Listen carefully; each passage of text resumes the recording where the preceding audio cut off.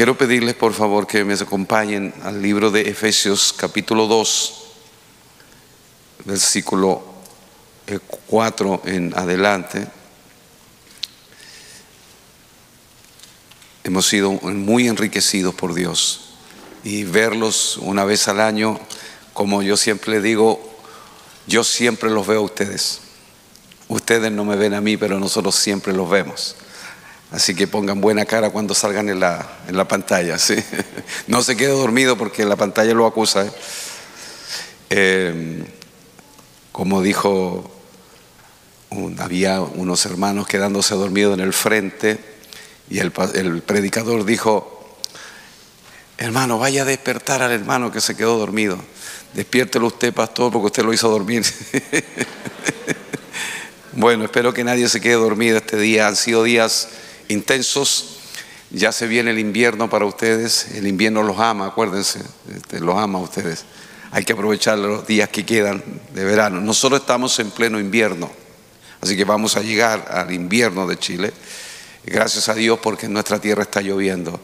Ha estado lloviendo estos días, estamos muy agradecidos del Señor, de lo que Dios está realizando en nuestra tierra y muy agradecido de lo que vivimos ayer porque fueron respuestas del Señor. Hace un par de meses atrás hablé con nuestros hermanos en la iglesia que Dios nos estaba mandando a hacer algunos altares de adoración en algunos lugares de la ciudad.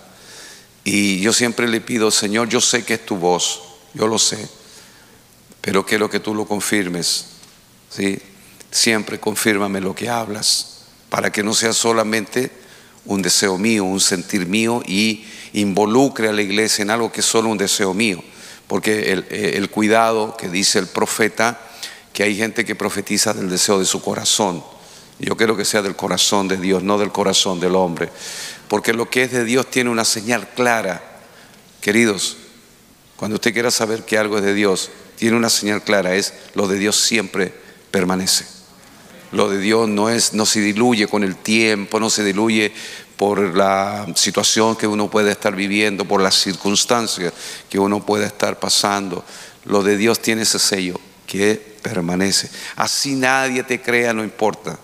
Pero fue claramente una intención del corazón. Hablando con un pastor de, de otra zona de mi país, me dice, sabes que Dios me mandó a hacer altares de oración en la ciudad donde yo estoy viviendo. Y dije, wow. Y luego vino otro pastor y me dijo también exactamente lo mismo. Luego el pastor Daniel Galindo, que ustedes conocen, eh, también un vecino nuestro ahí en la ciudad, también Dios le habló lo mismo. Y luego viene ahora el pastor Hugo y habla y todo confirmado. Nosotros queremos decir que es, sí y en el amén, más allá de cuántos vayan a esa cita. Yo quiero que vayan, nadie vaya, le dije a mis hermanos, nadie vaya a hacer esto por curiosidad. Vamos a ir los adoradores los que creen de corazón que lo que estamos haciendo, aunque no se vea nada humanamente, estamos sacudiendo el mundo espiritual.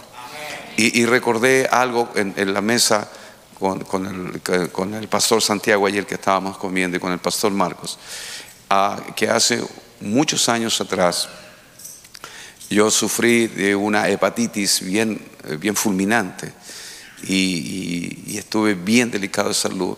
Y en ese tiempo andaban unos hermanos eh, ungiendo nuestra nación y nosotros hicimos en nuestra ciudad eh, un, acto profético y en ese acto profético el Señor me permitió eh, predicar.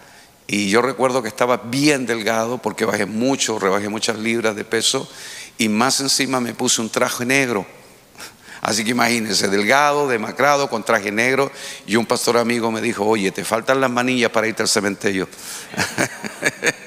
Tiene más cara de, cementerio que, otra cosa. Pero yo recuerdo haber predicado esa noche en, en ese lugar donde había mucha gente reunida y el Señor me dio esta palabra. Por la boca de los justos la ciudad es bendecida por la boca de los necios la ciudad es trastornada. Y el Señor nos dio una palabra poderosísima, fue muy hermosa y esa noche oramos eh, declarando la palabra del Señor, que Dios iba a cerrar ciertos lugares. Y, esa misma noche se quemó la discoteca más grande de la ciudad. Y nunca más volvió a ser una discoteca, sino hoy es un gran supermercado. eh, y, pasaron cosas, la bruja mayor de la ciudad, no sé si se murió o desapareció, pero era, era de terror. O sea, no estamos atribuyéndolo a nosotros, sino cuando obedeces la instrucción de Dios. Pero una cosa importante cuando Dios obedece, la escritura dice, e hizo Moisés como Dios le instruyó. Por eso que antes de obedecer una instrucción, lo primero que tiene que suceder es que escuchemos bien. Dios le dijo a, Josué, una vuelta cada día. Y el séptimo día, siete vueltas. ¿Sí? Entonces ellos hicieron exactamente como Dios. No, a mí me parece que deben ser dos vueltas. No, Dios dijo una cada día. No, a, a mí me parece que podrían ser tres mejor. No, no, una. Por eso que antes que obedecer una instrucción de Dios, primero hay que entenderla, comprenderla, para hacer exactamente como Dios nos manda. Recuerden ustedes que cuando éramos pequeños, nuestras madres nos mandaban a comprar. Y cuando nos mandaban a comprar nos decían, ¿qué le dije? ¿Qué le encargué? No, mamá, si yo ya sé. No, no, no, repítame. ¿Qué le encargué? ¿Por qué? Porque si no, tú llegabas con cualquier cosa. ¿Por qué? Porque no había escuchado bien. Entonces, cuando se nos da una instrucción, siempre es lindo obedecerla. Pero para obedecerla, vuelvo y repito, que hay que entenderla. No se puede obedecer lo que no se entiende. Eh, obedecer a medias es desobediencia. La obediencia tiene que ser total, completa y radical. ¿sí? Por eso para eso volvemos nuevamente a la instrucción. Entonces, si Dios nos ha dado una orden, nosotros nos sumamos a la orden de acá porque somos parte de esta casa. No importa si estamos a 10 mil kilómetros de distancia, porque Dios ya nos confirmó exactamente lo mismo. Entonces, si ustedes van para allá, se van a dar cuenta que es el mismo espíritu que está acá. Así como nosotros venimos para acá y nos damos cuenta que es el mismo espíritu. Entonces, por eso no nos sentimos extranjeros ni, ni ajenos, está también en nuestra casa. Y como dice el pastor Picolo, vayan todos, si quieren ir a Chile, pero vayan de a uno o de a dos, no vayan todos juntos. ¿sí? Así que bueno, Efesios capítulo 2, verso 4, dice, pero Dios, ¿qué es? ¿Qué es Dios? ¿Rico en qué? En misericordia. Por su gran amor, no solo su amor, sino su, gran, su amor ya grande, pero luego dice, con su gran amor, con que nos amó. ¿Qué hizo con ese gran amor? Aún estando nosotros, y aquí cámbielo yo, aún estando yo, porque la palabra tiene que afectarme a mí primeramente, ¿sí? aún estando yo muerto en pecados, me dio vida juntamente con Cristo. Y luego ahí, por gracia soy salvo. Eso no está de más. Eso es muy importante. Por gracia soy salvo. En, eh, y juntamente con Él me hizo, me resucitó y asimismo me hizo sentar en los lugares celestiales con Cristo Jesús. Siete. ¿Para qué? El verso 7. Para mostrar en los siglos venideros las abundantes riquezas de su gracia, de su gracia, en su bondad para con nosotros en Cristo Jesús. Amén. Bendiga el Señor su palabra en nuestros corazones. Para que mostrar en los siglos venideros Recuerden ustedes que esto lo escribió el apóstol, inspirado por el Espíritu dos mil años atrás. Por lo tanto, está hablando de todo lo que sucedería posteriormente cuando Él estaba presente. Es decir, está hablando de nosotros. Está hablando de usted y está hablando de mí. A mí me gusta siempre personalizar, cuando leo la palabra, personalizarla. Que primeramente la palabra me tiene que afectar a mi vida. Eh, porque eh, eh, he aprendido que a veces nosotros los predicadores decimos, usted tiene que hacer esto, usted, usted, usted, como que él ya, ya no, él ya, ya lo logró. No, yo no lo he logrado, digo como Pablo, olvidando ciertamente lo que queda atrás, me extiendo hasta a lo que está adelante. Pero yo también estoy incluido en esto. Por eso leo la escritura en primera persona, siempre. Cada vez que me inclino delante de la palabra, leo cómo eso me afecta a mi vida, cómo eso tiene que moldear mi vida. Entonces, mire, la misericordia es una de las expresiones de la gracia de Dios. Por toda la escritura usted va a encontrar esto de la misericordia. Es una de las tantas expresiones de la gracia de Dios. Dios, dice la escritura, que nos amó cuando nosotros estábamos en una condición de muertos.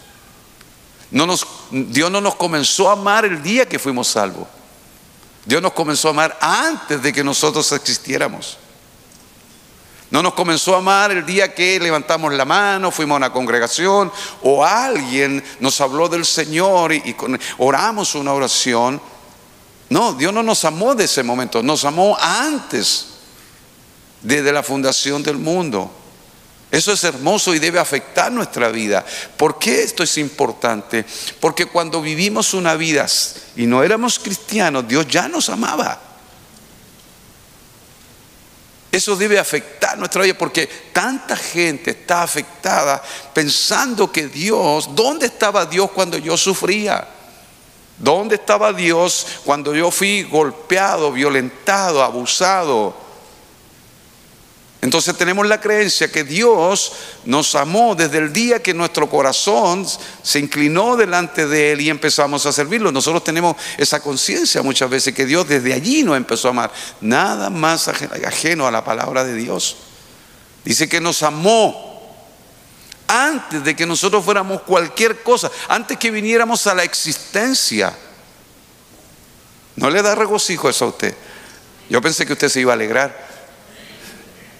Pero es lindo saber que Dios me amó antes de que mi mamá y mi papá se unieran y formaran esta belleza. Bueno, si usted se considera feo, un problema suyo. Dice que Dios nos amó estando en una condición de muerte, en delitos. ¿Sabe lo que es un, ¿sabe lo que es un delincuente? De ahí viene la palabra delito, de los delincuentes. Nosotros éramos delincuentes. yo me, escucho, me gusta escuchar una canción que me, me, dice a mí, que es de nuestro hermano de Bethel, que dice, confieso que he sido un criminal. Yo sé que nosotros no nos vemos así, pero así éramos. Estábamos muertos Mientras nosotros no nos demos cuenta de nuestra condición, es muy difícil que nosotros podamos entender lo que significa la gracia derramada en nuestros corazones. Yo le preguntaba a mi hermano Juan Pablo, eh, y lo comenté hace un par de semanas atrás, decía, ¿sabrán tus hijos lo que significa la pobreza? Tal vez para ellos pobreza es no tener la PlayStation 5. Sí. Pero para un niño de África que muere de hambre, es otro el concepto que tiene pobreza. Para los niños de las calles, la conciencia de pobreza es muy distinta. Entonces siempre le digo cuando alguien me dice, pastor, yo soy pobre, yo le digo, pobre en relación a qué? ¿Cuál es tu parámetro para medir la pobreza? Si usted no es pobre, podemos tener carencias, podemos tener necesidades, pero pobre, nosotros no somos pobres. Nosotros comemos todos los días. Hay gente que no come en días. Por eso a veces me, me, sorprendo yo mismo diciéndome a mí mismo, tengo hambre. No, yo no tengo hambre. Yo lo que tengo es apetito. El hambre aparece después de tres días de no haber comido. Cuando el estómago duele de no haber comido. Después de tres días. El apetito es lo que constantemente tenemos. Nosotros estábamos comiendo anoche y estábamos pensando en que íbamos a tomar desayuno. ¿No le pasa eso a ustedes? Ah, gracias a Dios no soy el único loco que tiene esas realidades, ¿sí? Ah, ¿Qué vamos a comer después? Entonces, fíjese, mi hermano querido, nosotros, usted y yo, somos una expresión viva de su gracia. Usted y yo somos una expresión viva de la gracia de Dios. Porque si no fuera por su gracia, usted y yo no estaríamos aquí. Estaríamos tal vez en otro lugar haciendo otras cosas que no honran para nada a nuestro Dios. Entonces, al apóstol Pablo, nuestro amado apóstol, se le encomendó una tarea. ¿Y cuál era la tarea que Dios le encomendó al apóstol? De aclarar las inescrutables riquezas de la gracia de Dios. Ese era el trabajo que Dios le encomendó, apóstol, diríamos el propósito de aclararnos la nueva vida en Cristo, de aclararnos cuáles son las herramientas con que Dios nos ha dotado a nosotros para vivir en este reino. Recuerde usted que cuando nacimos, y lo, hago una recopilación de lo que dije anteriormente en los días pasados, es que cuando nacimos, esa vida que recibimos nos habilitó para vivir en este planeta llamado tierra. Por eso yo puedo caminar, puedo saltar, puedo jugar, puedo aprender, puedo leer, puedo escribir, puedo conducir un automóvil. Usted, si no conduce un automóvil, usted tiene la habilidad para eh, conducir un automóvil. Solo que necesita el entrenamiento, necesita la experiencia. Usted puede aprender más de un idioma. Yo siempre molesto a nuestros jóvenes eh, que, que son hijos de latinos y le digo, habla español. Enséñele español a sus hijos, aunque a ellos no les guste. Enséñele. Una persona que habla español tiene mejor posibilidad de ganar mejores recursos. De hecho, el español es el segundo idioma de esta nación. Yo quedaría haber aprendido a hablar inglés. Me gusta el inglés. Yo cuando ustedes ponen las letras en inglés, yo las disfruto. Porque el, inglés para adorar es power, es poderoso, dice lo que quiere decir, nada más. El, español, el, español nuestro es como, te llamo ahorita, y el ahorita tú no sabes si es hoy, mañana, en 50 años, después de la venida de Cristo, tú, no sabes. Entonces el, español tiene es muy rico, pero, eh, tiene muchísimas palabras para decir una misma cosa, pero tú no sabes. Nosotros en Chile decimos, tú llamas al hijo, dice, hijo, venga, y él te dice ya. Pero ese ya tú no sabes, eh, es para dejarte tranquilo, ¿no es cierto? Pero no es que te ya, ya, ya, right now. No, no, no, te dejó tranquilo. Pero con el, en inglés no, dice lo que quiere decir y ya. Por eso el inglés para adorar a Dios es muy exacto. El español se diluye porque tiene demasiadas interpretaciones. Entonces, el lindo que aprenda a hablar un segundo idioma le va a hablar, le va a abrir más puertas y más posibilidades. Y tú no sabes si Dios te tiene de misionero por ahí. Nadie dijo amén. Está bien. Entonces, al apóstol se le encomendó esta tarea de aclarar, de hacernos entender entonces cuando, cuando nacimos, esa vida que portamos nos permitió desarrollarnos, casarnos, tener hijos, crecer, avanzar, estudiar una profesión, ¿cierto? Pero eh, todas esas habilidades naturales en el reino de Dios no sirven. Porque para funcionar en el reino de Dios se necesita nacer de nuevo. Porque este es otro reino, tiene otro idioma, tiene otra forma de conducirse. Entonces Dios nos enseña por medio del Espíritu, cuando nacemos de nuevo, a vivir en este reino. por eso la adoración es en espíritu y en verdad. Por eso el andar en el Espíritu no te lo puede dar una enseñanza natural. Tiene que enseñarte Dios a través del Espíritu. Empezamos a caminar en el Espíritu, a vivir en el Espíritu. Y empezamos a hacer cosas que no sabíamos que se podían hacer, que eran desconocidas para nosotros. Empiezas a orar en una forma en que tú nunca te imaginaste. Empiezan a interceder, empiezan los gemidos indecibles, el quebrantamiento, empiezas a sentir el dolor de la gente y dice, Dios mío, yo no sabía que esto estaba en mí. ¿Por qué? Porque el Espíritu te empieza a mostrar cosas que antes no veías. Ves una vida absolutamente diferente. Antes todo era para nosotros. Ahora nosotros vivimos para Dios y para servir a su pueblo. Antes todo era primero yo, segundo yo, tercero yo, cuarto Dios. Ahora no, empezamos a retroceder, a menguar, a morir. para que Cristo vive en nosotros y ese Cristo todopoderoso que vive en nosotros bendice a otros. Ora por otros, te conmueve el dolor, la pena, la tristeza, el llanto. Te vuelves un ser humano compasivo, piadoso, temeroso de Dios. Empiezan a pasar las cosas que antes no nos pasaban. Porque es otro nivel. Empieza a tener el corazón de Dios y empieza a renunciar a lo tuyo por lo de Él. Es distinto.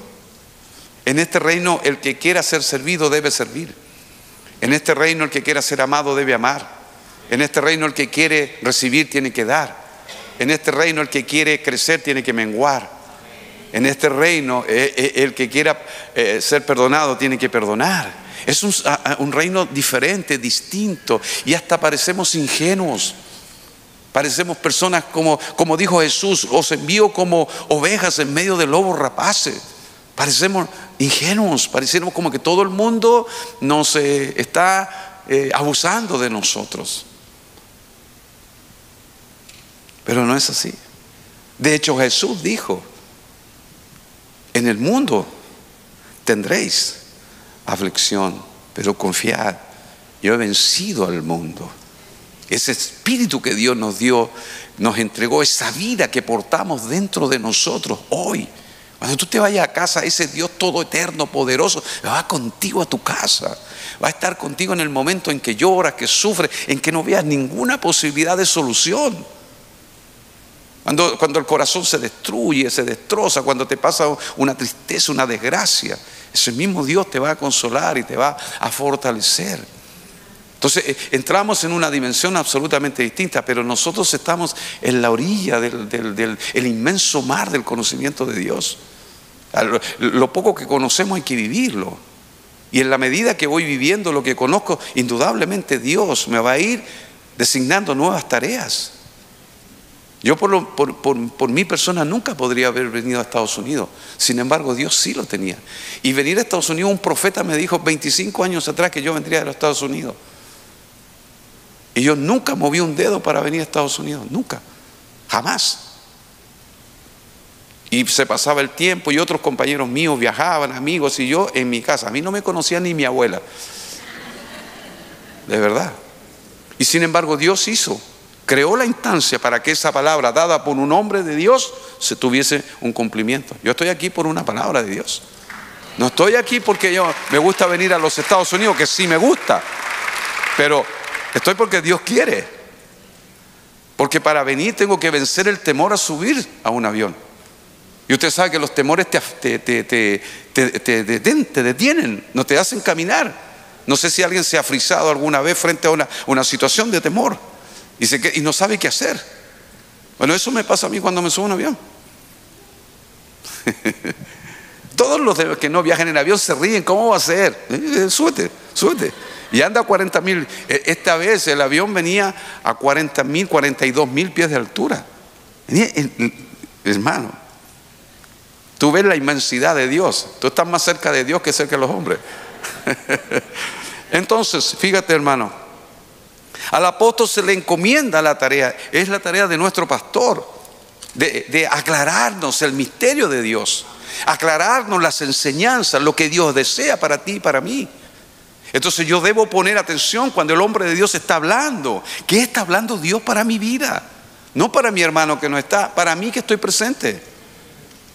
E-, ese es el trabajo de un pastor, de, aclarar, de hacernos sencillo, que esa persona pueda entender, el hermano que está aquí, el que tiene educación como el que no lo tiene, pueda entender. Porque ¿qué sirve un mensaje bonito? Oye, estuvo linda la palabra. ¿De qué predicó el pastor? No sé, pero estuvo linda. No puede ser, tiene que ser algo que usted se vaya y que pueda practicarlo ya mismo. Porque saliendo de esa puerta usted sabe que se va a enfrentar a un mundo que se le va a oponer al cumplimiento de esa palabra. Va a ser todo lo contrario a lo que usted estaba recibiendo aquí. Entonces, fíjese, la gracia, mi hermano, no la podemos limitar a un periodo de tiempo. La gracia es eterna, porque como Dios es eterno. Entonces, cuando yo estudié, me, estudié los, los, periodos bíblicos, me enseñaron que la gracia, estábamos en la dispensación de la gracia. Y yo no estoy diciendo que no sea así, pero la gracia es más allá de un tiempo. La gracia es eterna. Siempre ha estado. Siempre ha estado. Solo que ahora se ha manifestado de una manera distinta a nosotros. Pero la gracia de Dios siempre ha estado. ¿Sí? Entonces, la, la, gracia no es solo una doctrina, aunque se enseña como doctrina, pero no es solo una doctrina. Para hacerlo más sencillo, mis hermanos, la, doctrina es como, como las recetas de cocina. ¿Sí? La doctrina eh, te, enseña cómo cocinar, cómo preparar un alimento, pero no te alimenta. Tú no te comes la, la receta. La, receta no tiene nutrientes. La receta no tiene ningún alimento que pueda satisfacer tu necesidad. Lo que tiene, lo que satisface la necesidad, es la gracia revelada en nuestros corazones. Cuando nosotros la comemos, por eso mi hermano, disfrute lo que coma. Qué buena noticia, todo porque yo estaba comiendo con culpa. No, disfrute lo que come. Más allá de lo que sea, disfrútelo, disfrútelo. Yo bendigo a todos los jaquetillos que tienen un estómago de niño, hermanos. Que comen de todo. De esos que pueden comer a las 12 de la noche felices. Y se duermen igual. A mí me pasa como mi pastor, un día estábamos en Bolivia con mi pastor, en Santa Cruz, y comimos un poquito más tarde, ¿recuerda, pastor? Y estuvimos hasta como las 3 de la mañana conversando ahí en el living, porque yo soy de tránsito lento. Entonces, todo lo que coma después de las 7, 8 de la noche es un desastre para mí porque no duermo. Y el problema que sufre es mi esposa, porque si no duermo yo, tampoco duerme ella, porque estoy despierto. Entonces, Fíjate, mi hermano, lo que nos nutre, lo que nos alimenta, no es conocer algo, sino comerlo. Comerlo. Comerlo. No es, no es conocerlo, no es saberlo, es experimentarlo. Entonces nosotros podemos saber de la doctrina de la gracia sin disfrutar esa gracia. Podemos saber de la doctrina de la salvación técnicamente, pero nunca haber experimentado esa salvación. Podemos conocer la doctrina del perdón sin nunca haber sido y saber que hemos sido perdonados y vivir como hombres perdonados. Nosotros podemos saber muchas cosas teóricamente, pero no en la experiencia, en la vivencia diaria. Y eso es lo que nos enriquece lo que comemos, no lo que sabemos de la comida. ¿Sí? A mí bendigo al Señor aquellos que comen y le brillan los ojos. Están comiendo y una, una alegría con la que comen. ¿Usted lo ha visto? Es una alegría, una satisfacción, hermano. Felices comen y, están ahí como niños. Yo lo que disfruto mucho son los helados. Ay, si usted me pone un, un, pote de helado, yo me lo como todo. Soy capaz de comérmelo entero pero sé que no me hace de todo bien. Entonces me limito. No porque no quiera seguir comiendo, sino porque tengo que ser sabio. Tengo que ser fiel administrador de mi cuerpo. Entonces, le comentaban unos hermanos, y perdonen que lo personalice, yo no puedo arriesgar el propósito comiendo, porque si me enfermo, dígame usted, ¿qué me pasa si yo me enfermo aquí? El pastor me va a felicitar. Venimos de Chile 10 mil kilómetros para estar enfermo aquí. No tiene sentido, entonces yo me tengo que cuidar. No puedo arriesgar el propósito. O sea, cuando un hermano va muy rápido en la carretera, digo, hermano, bájale un poquito. No, si tú quieres arriesgar tu vida es un tema tuyo, pero no arriesgues la mía.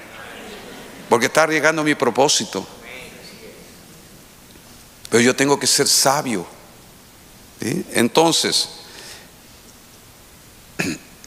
mire lo que dijo Juan, capítulo 6, verso 50, 6.50 del libro de San Juan. mire lo que dijo Jesús. Aprendamos a disfrutar lo que comemos. En este caso estamos hablando de Cristo. Aprendamos a disfrutar. Que ya que estamos aquí, disfrutemos. Disfrutemos todo lo que Dios ha preparado para nosotros este día.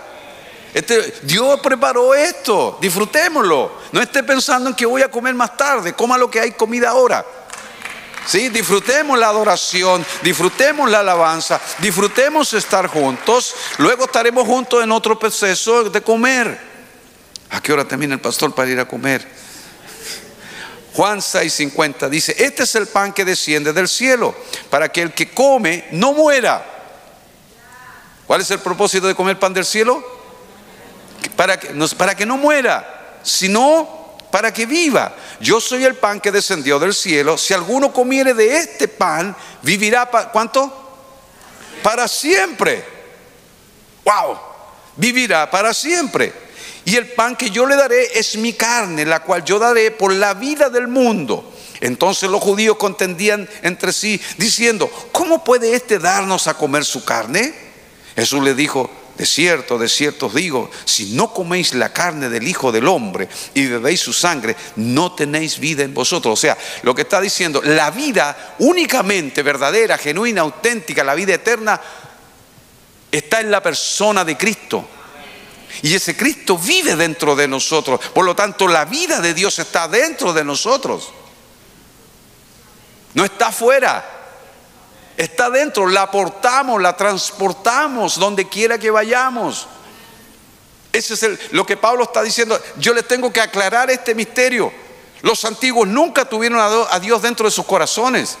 Nunca tuvieron al Espíritu dentro. Ellos, el Espíritu venía, profetizaba y volvía a Dios. Pero ahora la grandeza de este nuevo pacto es que este Cristo todopoderoso, eterno, santo, sublime, vive dentro de nosotros. Se va con nosotros, está dentro de nosotros como vida. Por lo tanto, cuando hablamos, no hablamos doctrina, solamente hablamos la vida.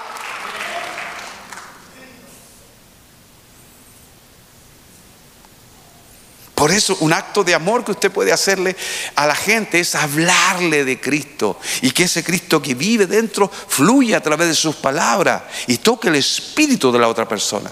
Ese espíritu que está dormido, que a través de la palabra que se es liberada a través de nuestros labios, la vida, eh, eh, Dios a través de esa palabra despierte el espíritu del que está dormido. Como Dios lo hizo un día con nosotros. Esto es básico, hermano, es sencillo. Pero de tanto en tanto, de ser tan sencillo, lo olvidamos. Entonces, fíjese, dice, el que come, el que come mi carne y bebe mi sangre tiene vida eterna, no cualquier vida, no cualquier vida, la vida eterna. Y yo le resucitaré en el día postrero, porque mi carne es verdadera comida y mi sangre es verdadera bebida. El que come mi carne y bebe mi sangre, en mí permanece y yo en él. Sea, Dios no se va de usted porque se ve, hoy día no oró. No estoy diciendo que sea bueno que no ore. Estoy diciendo que, oh, hice algo mal, entonces Dios se fue de mí. No, no, no, Dios, no es que Dios entre y sale, entra y sale. No, no, no, no. Él permanece. Eso es hermosísimo. Eso es bello. El saber que Dios está ahí siempre. Soy una residencia de Dios, hermano querido. Hermoso.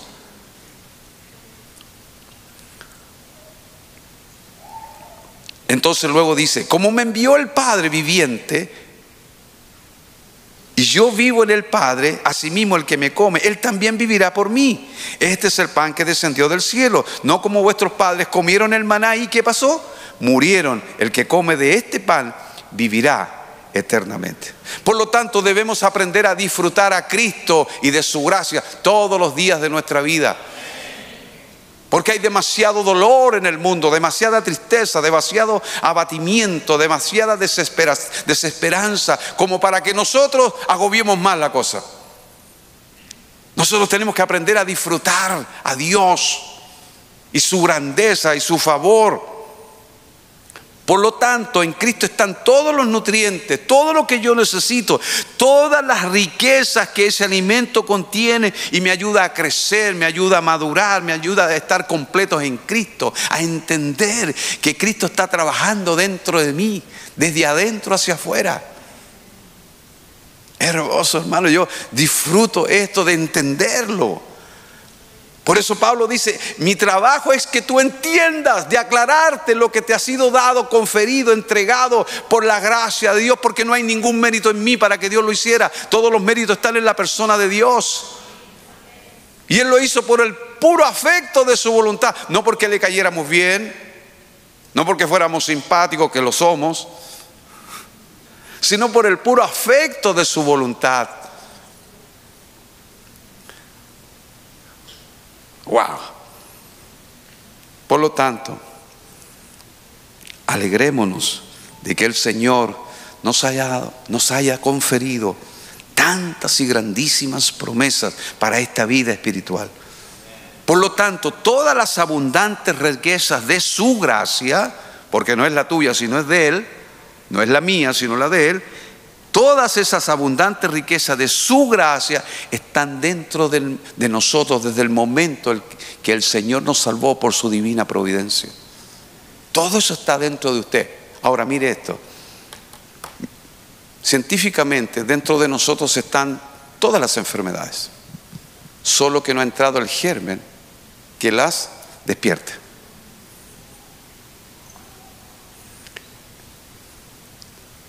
Dentro de nosotros vive Cristo. Todo lo de Cristo está aquí adentro. Entonces Dios crea las condiciones para que eso que está dentro de ti, esa persona, las habilidades, la gracia, la riqueza, los nutrientes, todo lo de Dios se manifieste para otro. Entonces tú ves un enfermo y ¿qué deberíamos hacer?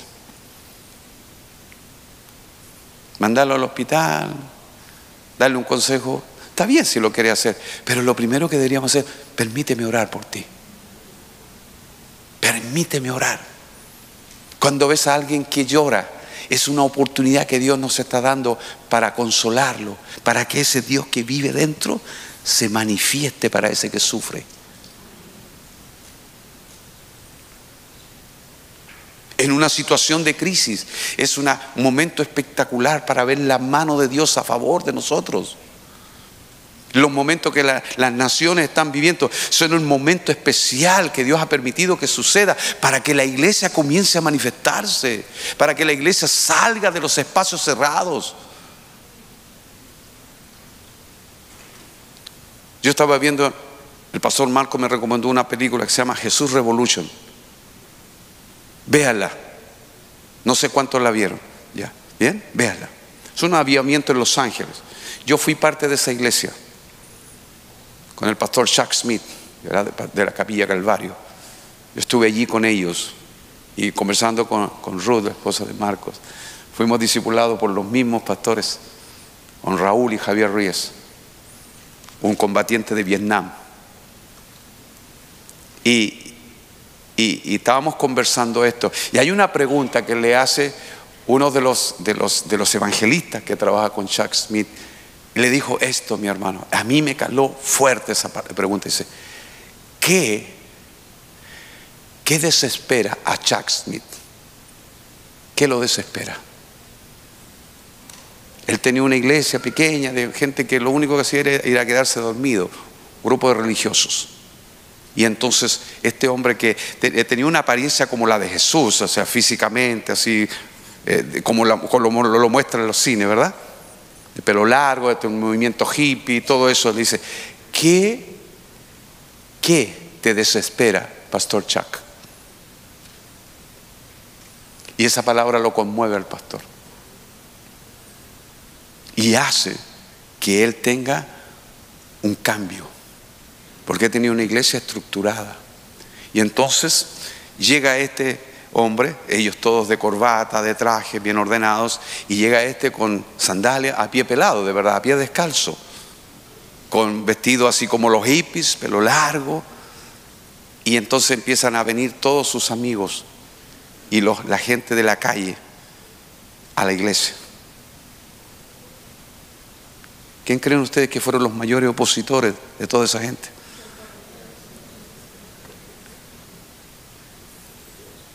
Los religiosos. Y al finalmente terminan fuera. Y le dicen a él, yo sé la historia porque la contó Raúl, decía que los ancianos le dijeron, pastor, la, alfombra se, ensucia con esta gente. Al siguiente domingo no estaba la alfombra. Porque Él no iba a permitir que lo que Dios quería traer fueran detenidos por una alfombra. Ahora, el tema es si estamos dispuestos a pagar el precio por eso. Porque cuando uno tiene una iglesia estructurada, ya tiene su grupo de personas, está contento, feliz, pero, pero, pero no, Dios quería traer algo más. Iglesia, ¿qué te desespera? ¿Te desespera lo que está pasando? Estamos desesperados por Dios porque aunque lo cantamos, aunque lo cantamos, no necesariamente eso que cantamos es verdad en nosotros. ¿Qué nos desespera? Ver tantos jóvenes en la droga, ver tantos jóvenes en las calles, ver tantos jóvenes perdidos. Nos desespera que Dios haga algo a favor de ellos. Isaías dijo, Señor, el, Dios preguntó, ¿a quién enviaré y quién irá por nosotros? Isaías dijo, heme aquí, envía a mi hermano. ¿Dijo eso? No, no dijo eso. Dijo, heme aquí, envíame a mí.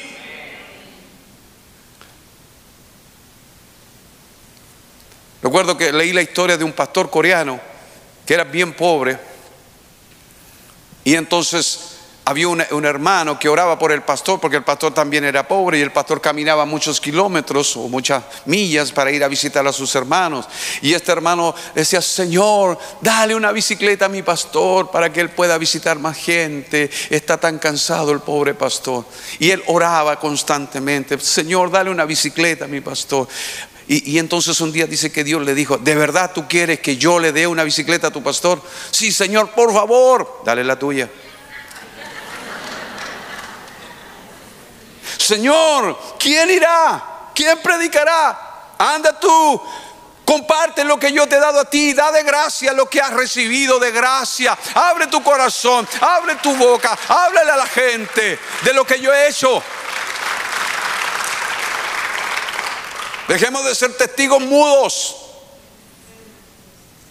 profetas mudos. Compartamos lo que Dios nos ha dado en abundancia. Nosotros somos ricos en Cristo.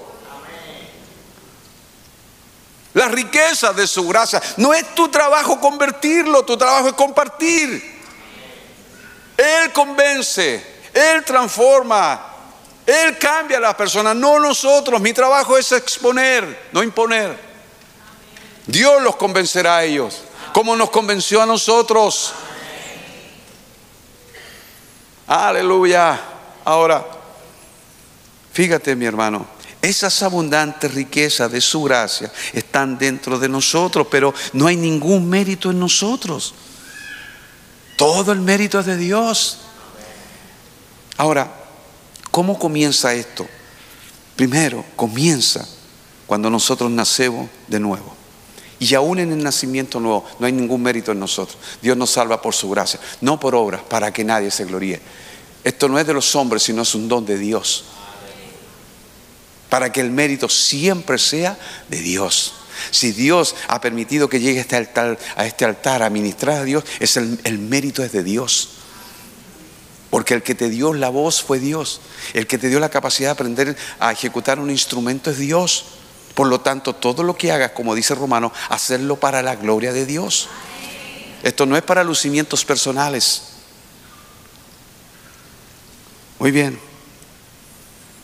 Dios no nos da todo lo que nos ha dado para recompensarnos por algo que yo realicé, por algo que hice.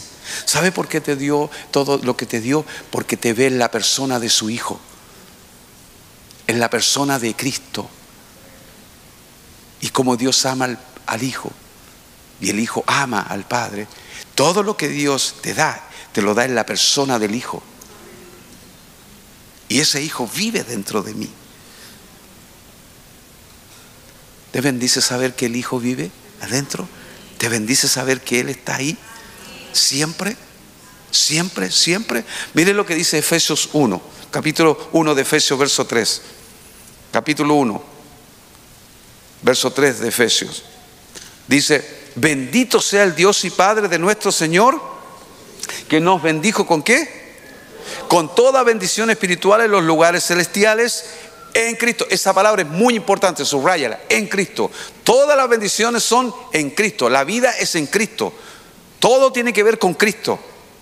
Según nos escogió en Él, ahí de nuevo, en Él, antes de la fundación del mundo. ¿Para qué nos escogió?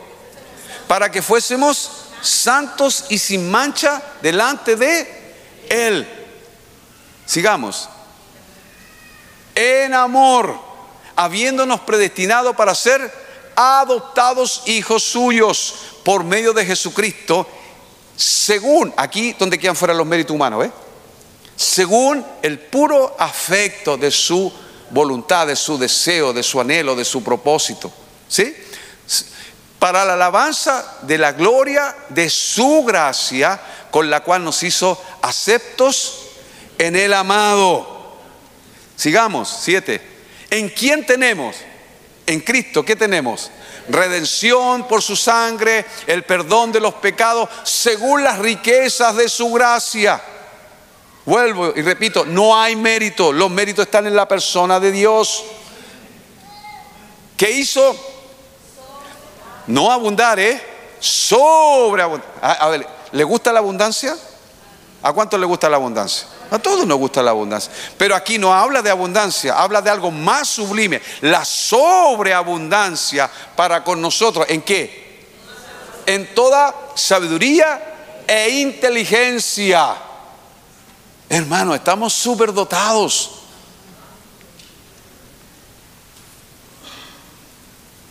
No se oye. Dígame. Estamos sobreabundados en esa gracia bendita, por eso se llama las riquezas de su gracia.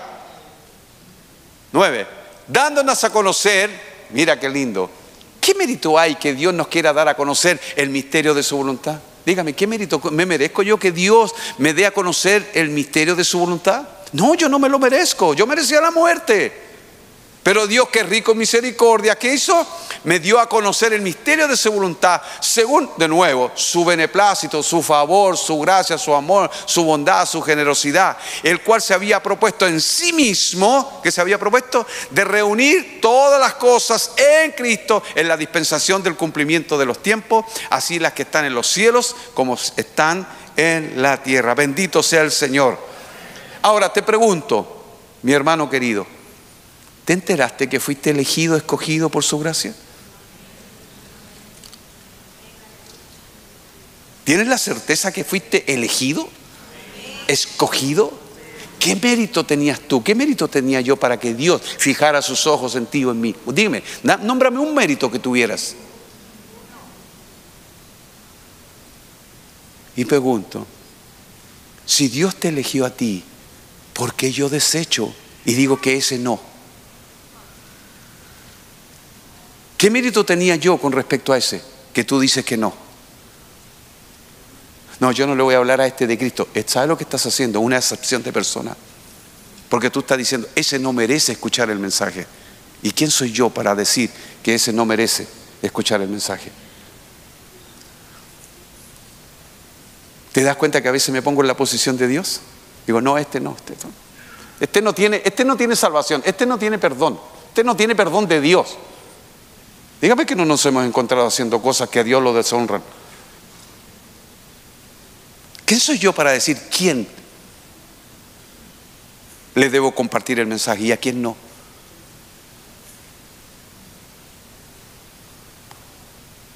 O el pecador de hoy no puede ser el santo de mañana. El alcohólico de hoy no puede ser el profeta de mañana. ¿O acaso el endemoniado de Gadara tenía algún mérito?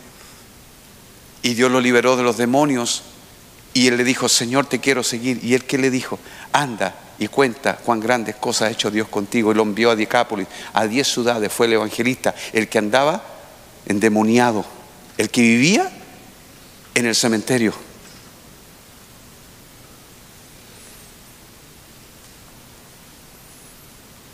¿Están aquí? Ok. No, si sé que están aquí, pero ¿estás presente en tu presente? Porque puede estar aquí, pero ya, ya me escuchas como voz del que clama en el desierto.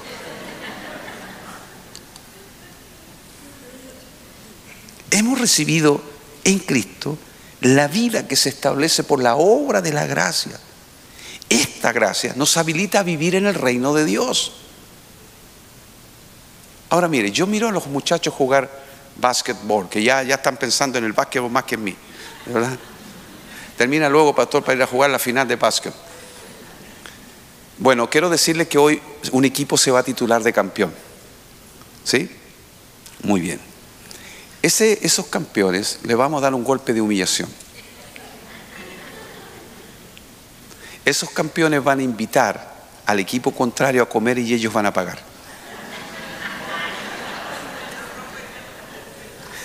¿Se dio cuenta que nadie dijo amén? Entonces, eh, entonces nadie va a querer ser campeón. No, hazlo tú, hazlo tú. El otro día, mira hermano, todos nos confundimos. Dígame, ¿alguien alguna vez se confundió sí o no? ¿Alguno de ustedes se tomó un, bus y que iba para otro lado? Y usted dijo, el chofer está equivocado. No, el equivocado soy yo. Yo tomé un bus que me iba para otro lado. Entonces, cuando tú tomas el bus y te das cuenta que no iba para donde tú ibas, no te pares inmediatamente desesperado porque todo el mundo se enteraría que te equivocaste. Entonces vas una parada más y allá te bajas y sigues caminando en la misma dirección del bus. Y cuando el bus se perdió, te devuelves. ¿Cómo yo sé eso? Porque me pasó. Todos nos hemos confundido. Todos, en algún punto nos hemos confundido. Y entonces estaba mirando el partido de básquet el, domingo pasado. Y ahí estaban los muchachos con ese temple, con ese temperamento dominado por el espíritu, jugando básquet. Qué forma de reírme, hermano. y ustedes ni siquiera venden entrada, hacen un espectáculo gratuito para nosotros reírnos. Y entonces uno tomó la pelota y se vio solo, vio el balón, se vio solo y, hizo el doble y lo celebraba, pero lo había hecho en su propio campo. Qué forma de reírnos, hermano. Porque él tomó, vio, se vio con el balón solo, y de repente dijo, no, lo hiciste, lo hiciste en el arco tuyo. Fue un punto en contra. ¿Qué te quedaba? ¿Retarlo? No, reírnos. Reírnos, ya, si no está jugando el final de la NBA. El, básquet es para disfrutarlo, muchachos. Apláudanse, disfrútenlo, compártanlo, alégrense. Que allí es donde se ve el temperamento de Cristo, si somos gobernados o no. No te va a salir el contrato de la próxima figura de la NBA al lado de Stephen Curry. Disfrútalo. Disfruta de gusto. Ahora, si tú me pones a jugar a mí, ahí sí que se van a reír. Porque aunque el aro tuviese una circunferencia así de gigante, yo no le atinaría a ese balón. Porque no tengo habilidad. Pero ponme a jugar polo. O ponme a jugar golf. No, yo soy negro, pero soy, soy fino.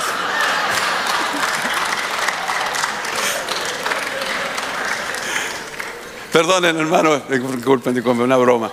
Pero el otro día fuimos con Marcos y Nehemías a New Jersey, nos llevaron a, golpear, porque a jugar golf suena muy grande, hermano, no, no. Y, era un, chiste, un relajo, tratar de pegarle a esa pelota y para cualquier lado, hermano, la pelota. Ah, y, pasamos de largo, y alguien estaba jugando y salió volando el, padre, el, el palo, salió volando por allá. Y yo dije, pero si a los jugadores de béisbol también le pasa que sale volando el bate. Y si le pasa a ellos que son que ganan 100 millones de dólares, no me va a pasar a mí. ¿Por qué le digo esto? Porque hay gente que tiene ciertas habilidades, ciertas capacidades, tiene condiciones atléticas, pero también se trabajan. Todo lo de Dios tiene que trabajarse. Por eso se llama proceso de formación. Por eso se llama el madurar, no sucede de la noche a la mañana. Todas estas riquezas en Cristo que están dentro de nosotros tienen que ser procesadas, tienen que ser maduradas, tienen que ser enseñadas. Por eso la importancia del discipulado. Usted no puede estar en una iglesia cinco años sin que nadie lo disipule. Tiene que sujetarse a alguien. Tiene que aprender bajo el alero de alguien. Porque bajo el alero de ese alguien usted está seguro. Por eso en el primer lugar donde Dios nos puso para obedecer fue en el hogar, con nuestros padres. Ahí nos enseñaron a obedecer, ahí nos enseñaron la rectitud, ahí nos enseñaron el cumplimiento de los horarios, ahí nos enseñaron el respeto, ahí nos enseñaron valores, responsabilidades. Y la iglesia es, ¿qué es la iglesia? Es una familia donde aprendemos bajo el helero de los hombres que Dios nos ha puesto como cabeza y los honramos y los bendecimos y le damos gracias y le preguntamos.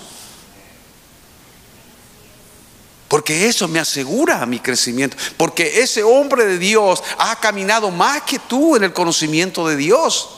Ese hombre de Dios ha sido procesado por Dios, ha sido formado y capacitado por Dios para enseñarnos, para dirigirnos, para decirnos, hijo, por aquí no, hijo, esto está bien, pastor, mira, yo quiero, por aquí, vamos a orar al Señor. Oremos al Señor. Pastor, ¿será esta la persona con la que me quiero casar? Mira, oremos al Señor. Que Dios nos dé testimonio que esa es la persona, porque estás tomando una de las decisiones más importantes de tu vida.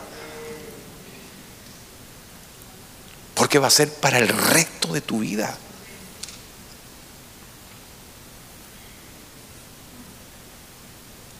Cuando caminas bajo autoridad, tienes autoridad.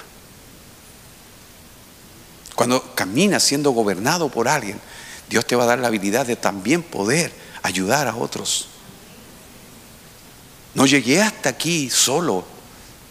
Dios a, través de muchas personas formó lo que yo soy hoy. Y no digo que yo ya, ya lo alcancé, todavía hay mucho más. Nos hace bien, nos asegura nuestra vida espiritual estar bajo autoridad. Yo no me mando solo, no me mando a cambiar para donde yo estoy parado, no. Pregunto, Señor, ¿voy? Señor, no voy. Este, ¿Qué hago? No siempre sé lo que tengo que hacer, pero conozco a alguien que sí sabe lo que tengo que hacer.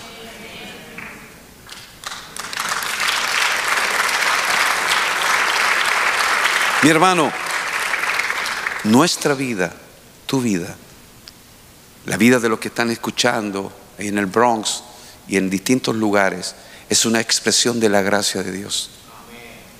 Ahora, quiero hacer una pregunta muy seria, y esto es muy serio, y aquí no voy a bromear ni decir ninguna cosa que promueva la risa. Esto que voy a preguntarle es muy, pero muy serio.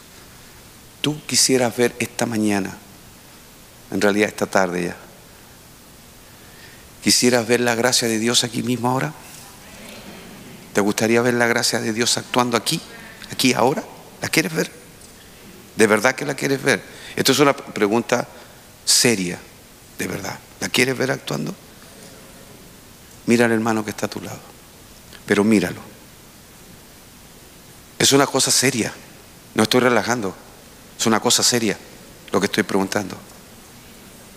¿Sabes? Esa persona que está a tu lado es una obra es una muestra visible de la gracia de Dios. Porque esa persona no estaría aquí si no fuera por la gracia de Dios. Como tú no estarías aquí, como yo no estaría aquí si no fuera por la gracia de Dios. Entonces, como ves, esa gracia está trabajando en tu hermano. Esa gracia lo está transformando lo está procesando, lo está tratando, lo está llevando a la, estatura del varón perfecto, al madurar. Ahí está la gracia. Tal vez no te impresione, pero a mí sí. Porque yo no veo el defecto de la gente, yo veo lo que Dios está haciendo con esa persona. Esa persona no sabe lo que va a llegar a ser, yo tampoco, a menos que Dios me abra los ojos. Dios le dijo al profeta, no digas que eres niño. Yo en mi propósito te he puesto para que seas profeta a las naciones.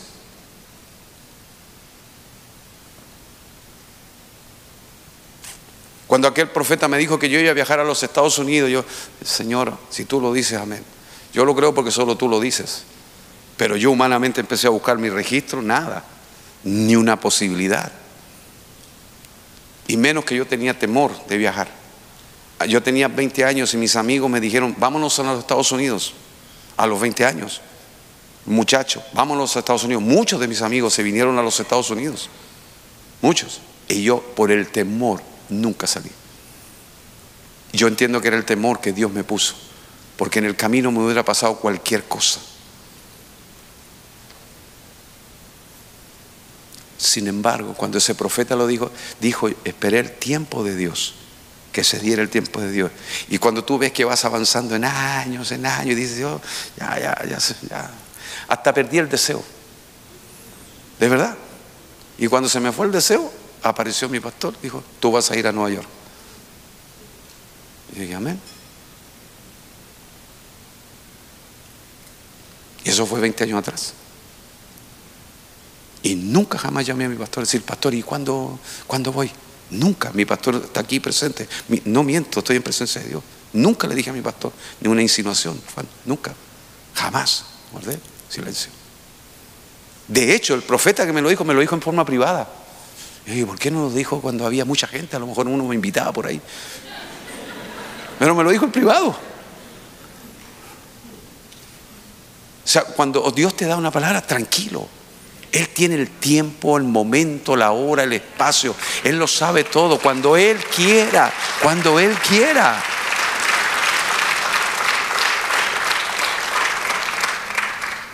¿Por qué yo necesito conocer esta gracia? ¿Sabe por qué necesito esta gracia? Por una cosa muy sencilla. Porque no podemos disfrutar lo que no conocemos. Tú no puedes disfrutar lo que no conoces.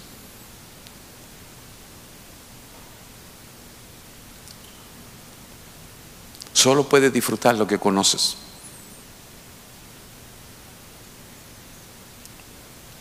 La gracia es legal, pero no es legalista.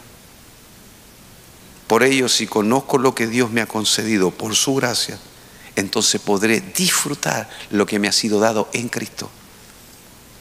Si nunca, si solo sabes del perdón, pero nunca has tenido la experiencia del perdón, nunca lo podrás disfrutar de lo que significa vivir como una persona perdonada. Nunca. Si nunca has sentido su amor real, no, no el, el, inventado, es un amor real de Dios, de ese amor que te hace gemir, que te hace llorar, que te hace enternecerte, que te hace emocionarte, que te hace tirarte al suelo a llorar, decir, no soy merecedor de este amor, de un amor tan puro, tan santo, tan sublime, tan alto, tan delicado, tan grandioso. Tú, no, sabes, no lo sabes. Yo no lo sabía. Hasta que una noche en un profundo dolor, de, lágrimas profundas, yo sentí su amor. Y el Señor dijo así, Andrés, nada más dijo eso, nada más. Y yo me quedé dormido llorando, porque supe que fue la voz de Dios. Dios no necesitó decirme nada más, necesitó solamente decirme Andrés. Nada más, porque yo sabía que no era una voz que venía de, de, alguna parte ahí, sino venía una voz que era eterna. Una voz que me sanó. Una voz que me hizo conmoverse mi entraña. Que me dijo, solo mi nombre. Escuché, mire, mire, tanta gente ha dicho mi nombre en el mundo entero, pero nunca, nunca, nunca en mi vida escuché una vez más esa voz. Nadie me dijo con, esa pasión, con esa ternura, con esa eh, grandeza, Andrés, yo no lo puedo repetir porque no tengo la voz de Dios. Tú puedes leer del amor de Dios, puedes leer poemas, puedes leer la escritura llena del amor de Dios, pero a menos que lo experimentes no sabrás de lo que estoy hablando.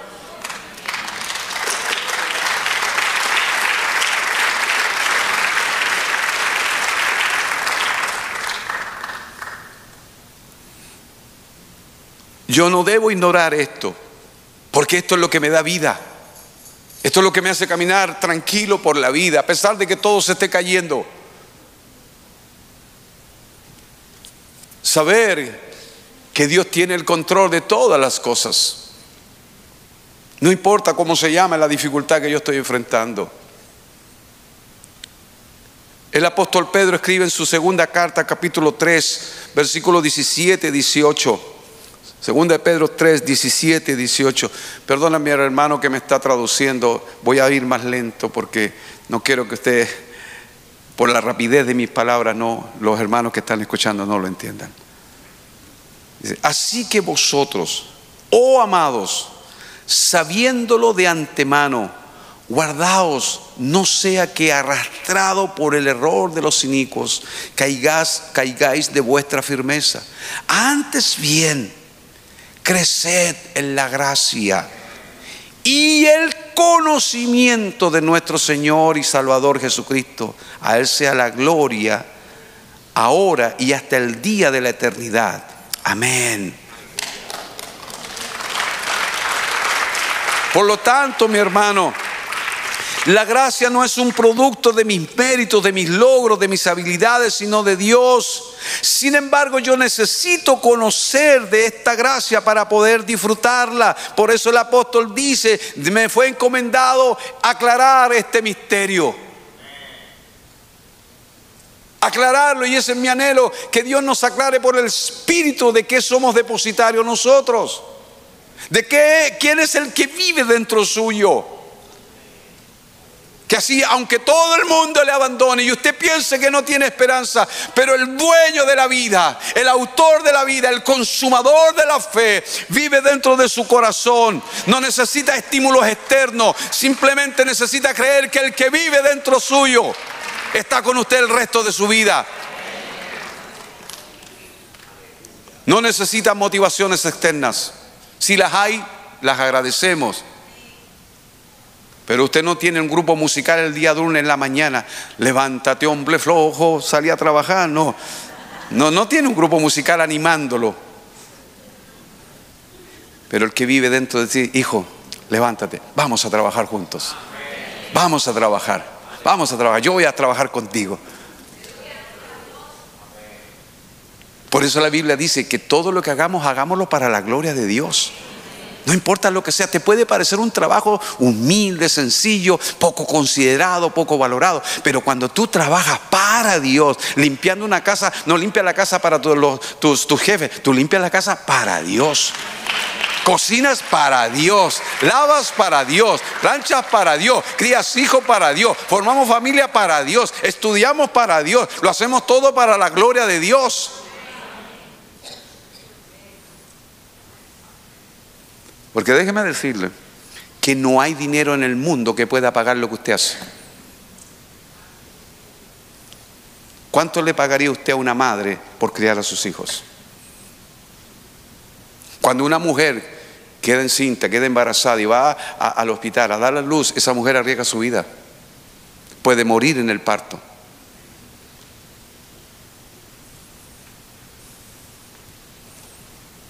¿Cuánto pagaría usted por eso? No hay dinero. ¿Quién le puede pagar el talento, la creatividad? ¿Quién? Los hombres inventan la hora, un salario por hora, pero eso no necesariamente es así delante de Dios. Porque la escritura dice, mire lo que dice, el que le da un vaso de agua a un profeta, por cuanto es profeta, recompensa de profeta recibirá. O sea, la valoración que Dios hace, da a lo que tú haces, no tiene nada que ver con la valoración que le da el hombre. Nada. No hay equilibrio entre la valoración del hombre hacia el hombre y en la valoración de Dios hacia el hombre. Es absoluta, infinitamente superior. Por eso que yo tengo que tener ojos, que Dios me abra los ojos para ver la obra que Dios está haciendo dentro de tu corazón. Por eso, por eso no todos tienen el corazón pastoral. Porque nosotros a veces como humanos nos desesperamos. Señor, cambia a esta persona. Señor, cámbiala, cámbiala, cámbiala, cámbiala, cámbiala. Ya. Y cuando mientras más oramos así, descubrimos que hay algo que Dios sí hace. Cambia. Pero te cambia a ti y a mí. Porque no era el otro el que tenía que cambiar, era yo que el que tenía que cambiar con respecto a esa persona. ¿Es así o no? Esa es la hora de la gracia.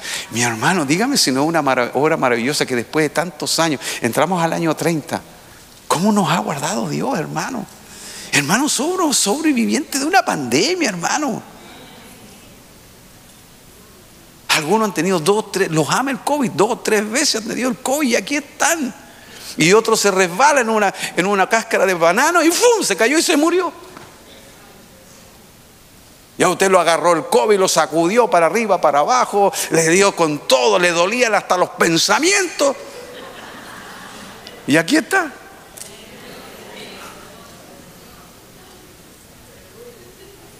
¿Por qué? Es que yo tengo buena defensa, hermano. Yo tengo un sistema inmunológico extraordinario. No, hermano. Había gente mejor que usted. Y sin embargo, ¿sabe por qué? Porque su propósito no se ha terminado. Como dijo aquel ministro boliviano, un evangelista Julio César Rival, dijo esto, yo soy inmortal hasta que su propósito se cumpla. El día que el propósito de Dios se cumpla, goodbye, hasta la vista. Se terminó. Ahora, fíjese mi hermano. La gracia, vuelvo y repito, no es fruto de un mérito personal. Los méritos son de Cristo. Esto es importante, hermano, que no se puede olvidar. Mire lo que dice el apóstol a los Gálatas, capítulo 4, 4, 6 y 7. Gálatas 4, 6 y 7. ¿Por qué es importante que no olvidemos las verdades de Dios? Dice, capítulo 4, versos 6 y 7. Perdón, desde el 1 mejor, para que entendamos mejor conocimiento, entendimiento. Capítulo 4, verso 1 en adelante. Pero también digo, entre tanto que el heredero es, ¿es qué? En nada difiere del esclavo, aunque es señor de qué? De todo. ¿Qué diferencia hay entre un niño que es que, no, que no entiende y un esclavo. Nada, no hay ninguna diferencia. Por eso Pablo nos invita a nosotros a madurar, a crecer. Porque, ¿Por qué Dios quiere que crezcamos? Porque, como lo dije la vez pasada, eh, tomando la ilustración de Juan, que fuera un piloto de un avión, él no le puede pasar el avión para que lo, lo pilotee John solo porque es su hijo. Yo sé que el pastor Juan ama a John, pero no le pasaría el avión con 300 personas. Y si yo me enteraría, yo demando a a Juan. Entonces, eso es lo que está diciendo, perdón en palabras sencillas. Sabiendo esto, digo que entre tanto que el heredero es niño, ¿quiénes son los herederos de Cristo? Nosotros. No solo herederos, sino coherederos. Es decir, todo lo de Cristo también es nosotros. Pero dice, en nada diferimos del esclavo, o sea, no hay ninguna diferencia entre él, ese niño, y el esclavo, aunque el niño es señor de todo. O sea, es el dueño de todo. Pero ¿cuál sería el problema con un niño administrando los recursos y los tesoros de un Dios ilimitado? ¿Sabe lo que haría? Daño. Afecta, destruye. Por eso que no nos ponemos no nos podemos poner bajo el alero de cualquier persona. Debemos ser cuidadosos, que Dios nos, enseña. Ahí donde le preguntamos a nuestro pastor, pastor, ¿quién nos va a disipular? ¿Quién? Porque el pastor conoce sus ovejas, él sabe los obreros que están preparados para ese trabajo, porque tu vida es eterna, yo debo cuidarla. Porque un día yo como pastor voy a dar cuenta de, los hermanos que Dios puso en mi mano. Y no cualquier cuenta. Voy a, poner voy a dar una cuenta estrecha. Se lo pongo más sencillo. Si usted tuviera que salir y tuviera dos o tres niños pequeños, ¿con quién los dejaría a cargo? En mi país está prohibido por ley dejar a niños solos en la casa. Aquí también. Está prohibido. Te pueden denunciar y te llevan a la corte. O te los pueden quitar. Si eso es así con la vida humana, imagínate con la vida espiritual de alguien. No te puedes poner bajo el alero de cualquier persona.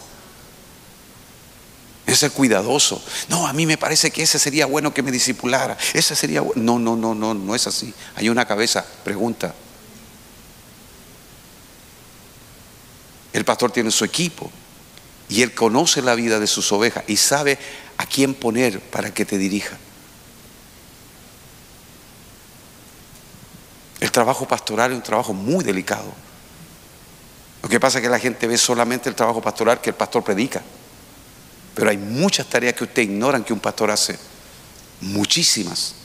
Y que son demasiado, demasiado delicadas. Yo no puedo poner la vida de mis hermanos a gobernar por cualquier persona. Esas personas tienen que haber pasado por una escuela antes, de discipulado, de enseñanza, de formación, de capacitación, para que entreguen lo de Dios a la persona. Entonces Pablo dice que entre tanto que el heredero es un niño, el heredero, el dueño de todo es un niño, y nada difiere del esclavo, aunque es dueño de todo, sino que está bajo tutores y curadores hasta el tiempo señalado por el Padre. O sea, ¿por qué ustedes creen que Jesús pudo recién a los 30 años asumir el ministerio? Jesús, hermano, Jesús, porque Él cumplió, porque a los 30 años era mayor de edad. Por eso lo que está pasando en esta casa, que entramos al año 30 y nosotros entramos con ustedes, entramos en la posición adquirida de todos los derechos legales que Dios nos ha concedido. Para empezar, ¿por qué ustedes creen que Dios está dando ahora instrucciones para ciertas cosas? Porque antes no teníamos la madurez ni el conocimiento para hacerlo. Porque Dios nos está asignando mayores responsabilidades.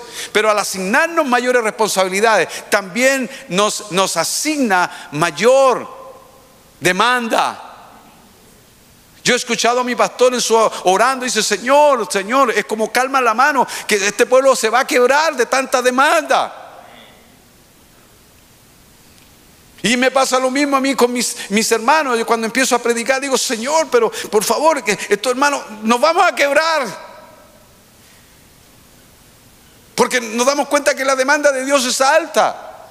Nos dice, sin santidad nadie verá a Dios. Es decir, estamos todos descalificados. Por eso requerimos que la santidad de Dios esté en nosotros. Pablo dice, vuelvo a sufrir dolores de parto hasta que Cristo, hasta que Cristo. ¿Sabe lo que es un hombre que sufra dolores de parto? Porque él ve el costo, el precio de lo que significa la formación, que Dios te asigne a alguien a tu cuidado. ¿Sabe la responsabilidad de lo que eso significa? De que Dios te asigne un par de personas que tú las gobiernes, las dirijas. ¿Sabe la agonía que uno siente?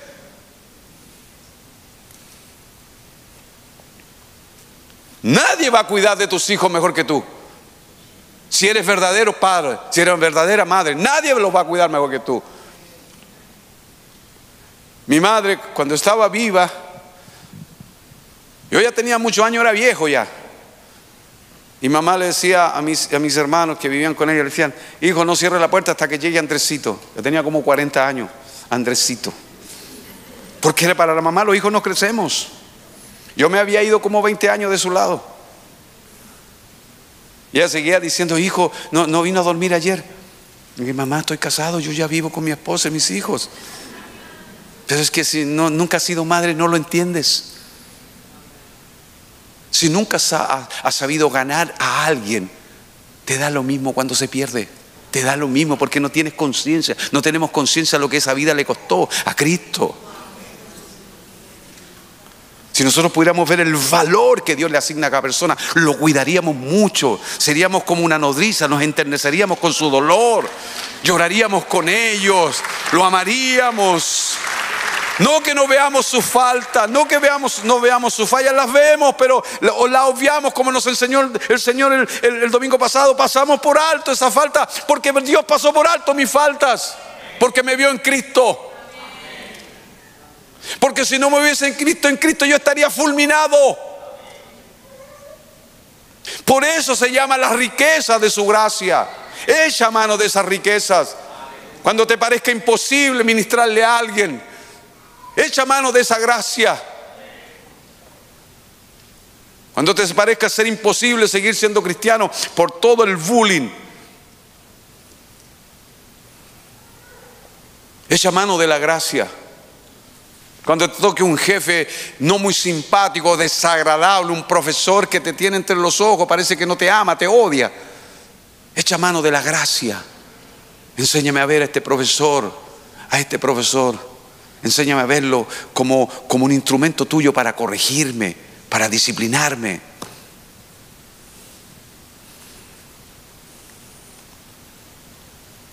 Así que Así también nosotros cuando éramos niños estábamos en esclavitud bajo los rudimentos del mundo, pero cuando vino el cumplimiento del tiempo, aleluya, Dios envió a su Hijo nacido de mujer y, nacido bajo la ley para que redimiese a los que estaban bajo la ley, a fin de que recibiésemos la adopción de hijos. Y por cuanto sois hijos, Dios envió a vuestros corazones el Espíritu de su Hijo, el cual clama, Abba Padre. Y Dios se te empieza a transformar en un Padre extraordinario no ese Dios que está allá arriba a millones y millones de kilómetros, sino el Dios que vive dentro de ti. Tú le dices, Padre. Y tú te refugias en tus brazos, yo me refugio en sus brazos y lloro en sus brazos. Como dice la canción, me pierdo entre sus brazos. Y ahí yo, yo dejo de existir y existe solo Él. Y sé que Dios tiene el control de eso, de eso que me aflige. Es increíble, hermano como en un país tan grande como esto hay gente que se siente solo. Yo hacía un programa de radio hace 30 años atrás en Valparaíso, de las 12 de la noche a la 1 de la madrugada. Y usted sabe cuánta gente nos llamaba en la noche que se sentía sola. En una ciudad de 200 mil habitantes. La cantidad de gente llamada llorando. Una vez llamó un muchacho y dice, pastor, he intentado tres veces suicidarme. ¿Qué palabra usted me puede dar? ¿Qué le dice a una persona que ha intentado tres veces suicidarte? Y tú dices, Señor, yo no tengo nada que decirle. Yo tenía 30 años menos de conciencia de Cristo, no sabía lo que sé ahora. Pero igual le dije esto, sabes, si Dios te permitió llamar a este programa es porque Dios puso una convicción que Dios tiene una solución para ti. Vamos a orar. No sé qué pasó con él porque nunca más le conocí, nunca más le vi. Pero sabía que le dije, Dios te ama y Dios tiene propósitos contigo. La muerte no es el término, es el inicio de tu dolor eterno. Entonces, La fe, mi hermano querido, esta gracia nos fue revelada en Cristo y por Cristo. Juan 1.17 dice así, pues la ley por medio de Moisés fue dada, pero la gracia y la verdad vinieron por medio de Jesucristo. Por tanto, ahora, en los méritos de Cristo, Él nos acredita por medio de la fe todo lo de Cristo. Es como un depósito que nos depositó dentro de nosotros. Todo lo de Cristo vive dentro de nosotros. No es que Él se vino a vivir dentro de nosotros y dejó todos sus recursos ahí arriba. No, Él se vino con todo a vivir dentro de nosotros. Es una grandeza, hermano querido. Entonces, la fe es entender, es comprender lo que Él ya realizó por nosotros. No lo que va a hacer, sino lo que ya hizo. Tú miras la obra de Cristo hacia atrás en lo que Dios ya hizo. Ahora la fe es creer que eso que ya hizo está a favor tuyo y a favor mío. ¿Lo crees? ¿Crees de todo corazón que lo que Él realizó ya está a tu disposición para que lo uses si necesitas perdón? El Señor allá lo consiguió para nosotros. Ya está hecho. No es algo que Él va a hacer mañana, Él ya lo hizo. Nosotros miramos a lo que hizo Jesús y lo creemos y ahora, una vez que lo crees, hay que practicarlo. Vive como una mujer perdonada. Vivamos como hombres perdonados. Vivamos como hombres que fuimos salvados. Vivamos como personas que hoy hemos sido alcanzados por esta bendita gracia de Dios. Y disfrutemos de lo que Dios nos ha dado. Pregunto, ¿cuánto disfrutan a sus hijos? De verdad lo disfrutamos, así que son como medio, una mes medio trasnochados, así como... ¿Cuántos disfrutan a sus nietos? Yo, ¿te acuerdas que la primera vez que vine, yo le hablaba de mi nieto? Y mucha gente decía, ay, que el pastor, ¿por qué habla el pastor de su nieto y los nietos? ¿Cómo va a ser tan tanto? ¿Cómo va a ser tanto? Eso que el pastor dice siempre, los nietos, los nietos, los nietos. ¿Cómo va a ser tanto? Bueno, yo le decía a usted, espérate tener uno. ¿Y cuántos han sido abuelos en ese tiempo? Él levante la mano los que han sido abuelos, ¿sí? ¿Y? ¿Y? ¿Canta la canción conmigo ahora? Me contaba el hermano, eh, hermano Juan que el pastor Rocha eh, les comentó que cuando venía el nieto, yo no sé si me alegro más cuando viene o cuando se va, porque, porque te deja agotado, hermano. que se duerma, por favor, que se duerma. Porque tienen pilas, hermano, pilas, corren, juegan, saltan, gritan, le hacen tantas cosas. Ay, yo ya no tengo edad. Y mi nieto mayor que vive conmigo, que se llama Joaquín, Joaquín está de este porte, ya tiene barba y usa bigotes y el próximo año va a la universidad. Entonces, yo ahora yo no lo tomaría en brazos, él me toma a mí ahora en brazos. Ya cumplió 18 años, imagínate. yo decía, y este niño que cuando chiquitito jugaba con él.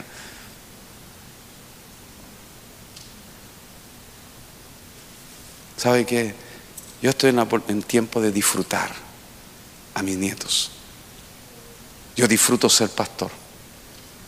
Si yo no abrazara, no sería yo. De verdad, no sería yo. No sería yo. Porque Dios me hizo así, me hizo. Yo no era así. Yo no era así. Yo era distante, solitario, a pesar de tener siete hermanos, seis hermanos y mi hermano, siete. Era bien solitario. Dios me hizo así, Dios me cambió el corazón. Por eso yo creo cuando Dios cambia el corazón. Me dio un corazón de pastor. Y por favor no me compare con nadie, ni compare un pastor conmigo. No, no, no, eso no, porque eso no está bien. Eso no es correcto, porque todos tenemos dones distintos y funcionamos en manera. Yo admiro a mi pastor, el conocimiento, la sabiduría, la revelación. Digo, wow, Dios mío. ¿Y yo qué hago ahí predicando en el amanecer? Dios me dio una gracia distinta. Y aprendemos a apreciar cada gracia. Yo admiro la, sencillez y la humildad que Dios le ha dado al pastor Dagoberto. Lo, lo admiro, de verdad. Nunca se lo he dicho, se lo digo público. Criar tres hijos que los tres estén junto a Él, en el servicio a Dios. Avancito con toda su familia. A mí me gusta reconocer, porque yo creo que en cuanto a honra debemos preferirnos. Yo a todos tengo una deuda de gratitud con ustedes, pero quiero este día destacar a mi hermano pequeño, a mi hermano Alex.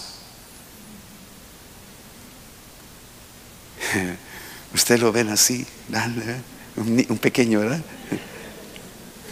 Pero sabes, ese hombre tiene un corazón de niño extraordinario. Me ha cuidado, hermano. Me ha cuidado.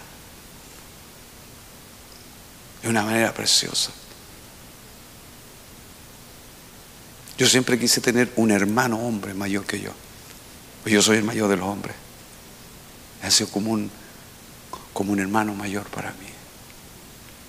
Nos ha cuidado, nos ha bendecido, nos ha amado. Ha hecho sacrificios preciosos, tremendos. Yo quiero honrarte, mi hermano querido el Señor te bendiga. Tú lo ves silencioso, filmando, grabando. Que el Señor te guarde todos los días de tu vida junto a tu esposa y a tus hijos. Y así a muchos otros de ustedes, no los recuerdo todos sus nombres. ¿Sabe? Yo he aprendido a ver la gracia, los que nos traen todos los domingos acá,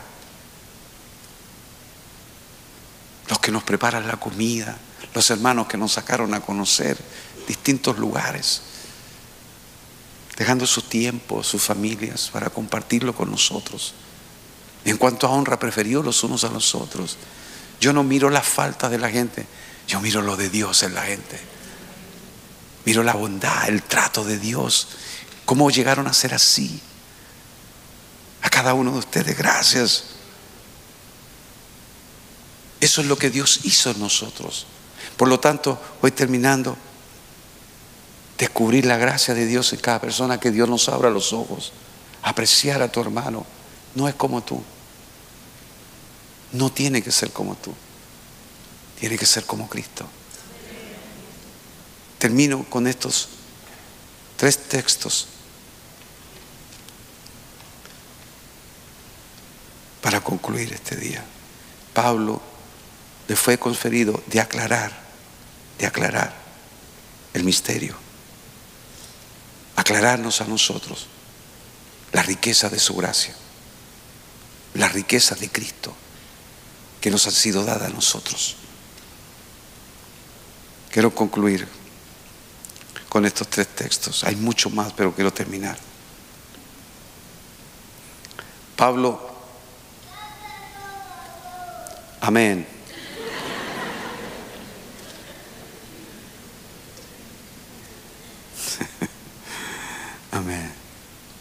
Mire, segunda carta a Timoteo 1.11, mire esto, estos tres textos y termino.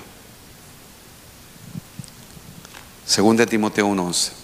Pablo dice que él fue constituido, constituido predicador, apóstol y maestro a los gentiles. Mire esto, guárdelo en su espíritu.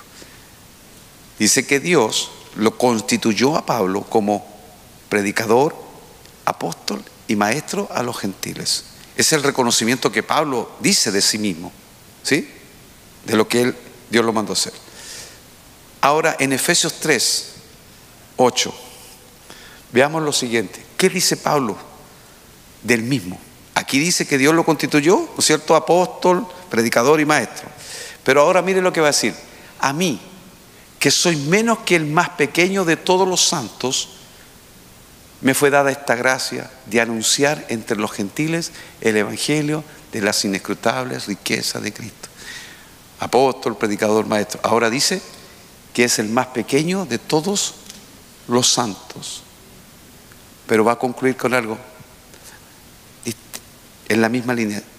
Primera Timoteo 1:15. Mire lo que dice Pablo de sí mismo.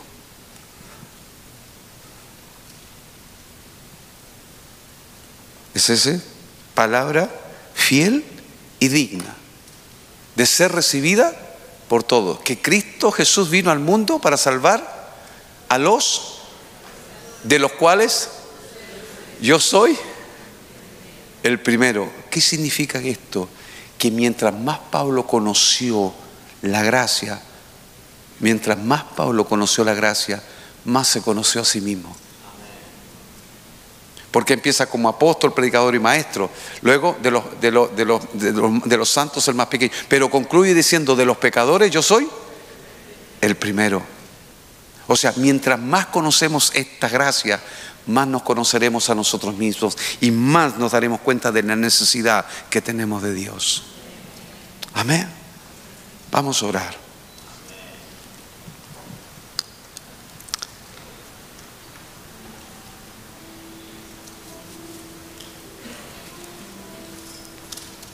Aleluya. Hermoso es nuestro Dios, hermanos. Yo quiero pedirle que se pongan todos de pie, por favor.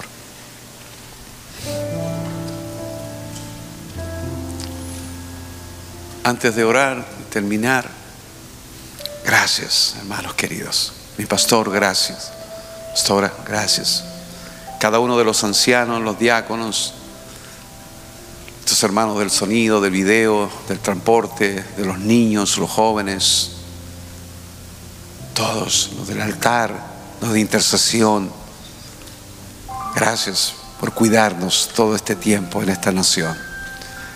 Gracias por cada oración que han hecho por nosotros, por mi familia, por nuestra iglesia en Chile. Gracias por los regalos, por los abrazos, por sus deseos hacia nuestra vida. Gracias. Gracias en las casas que estuvimos y conversamos y charlamos, compartimos. Y por aquellos que no los pude saludar, compartir con usted, perdónennos.